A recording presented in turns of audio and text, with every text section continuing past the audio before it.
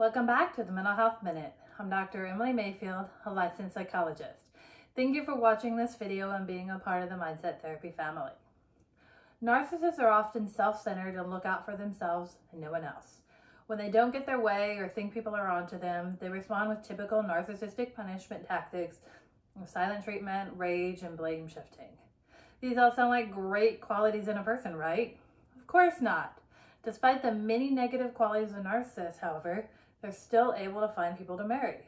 How does a narcissist view marriage and why would a narcissist marry if they are unable to connect to other people and lack empathy and the ability to understand how someone else might feel? But first, before we discuss that further, thank you for choosing to watch this video.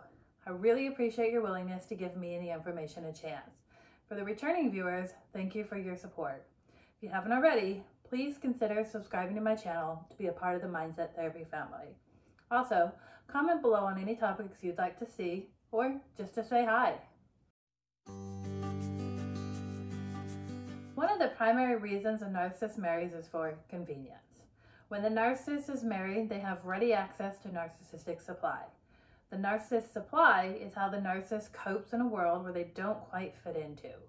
The narcissist might act superior and with high self-esteem, However, they actually feel inferior and have low self-esteem.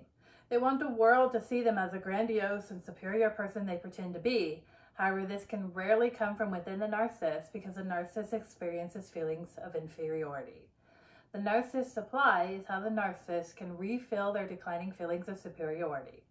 The narcissist supply can be obtained through a partner, and when the narcissist is married, the partner is convenient and readily available.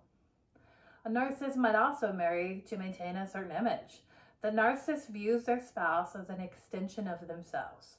If the narcissist wants to present themselves to the world in a certain way, they will pick a spouse who can help them with that image. This can be based on looks, wealth, or other qualities the narcissist wants to use to their advantage. The narcissist chooses spouses that will help them meet their end goal. A narcissist views marriage as something that will benefit them. They will not haphazardly enter into a marriage. Although a marriage might come quickly after dating, the narcissist has thought out what benefit their spouse will provide for them. The narcissist has been on the hunt for a spouse they think will serve their needs best. They have love bombed to test their partner's reactions to the love bombing and also withdrawn their love and affection to see if they can continue to control their partner.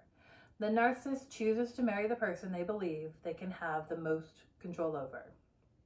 This isn't meant to victim blame and to say the partner or spouse has done anything wrong. The narcissist knows that other people are caring and want to please, so they look for people that have those qualities. The narcissist finds a partner with a big heart and strong desire for forgiveness because that allows them to love bomb and rage over and over again while you, the caring individual, work on improving things. The narcissist partner's constant need for things to be better is what allows a narcissist to have ready access to supply. When the narcissist is feeling inferior and needs to refill their supply, they turn to their spouse who says the right things at the right time in the hopes of things going better. The narcissist is manipulative and controlling, and the issues in the marriage are rarely about their spouse. The narcissist creates problems through blame shifting and controlling tactics so that they can appear as a competent person in the relationship and have ready access to supply. If you're married to a narcissist and doubt your abilities to do anything right or be good enough, step back and see it is not about you, but is about the narcissist. Comment below if you've been married to a narcissist and how you think they view marriage. Also, if you enjoyed the content of this video, please give it a thumbs up. If you haven't already, please consider subscribing to my channel to be a part of the Mindset Therapy family. I look forward to seeing you at the next video.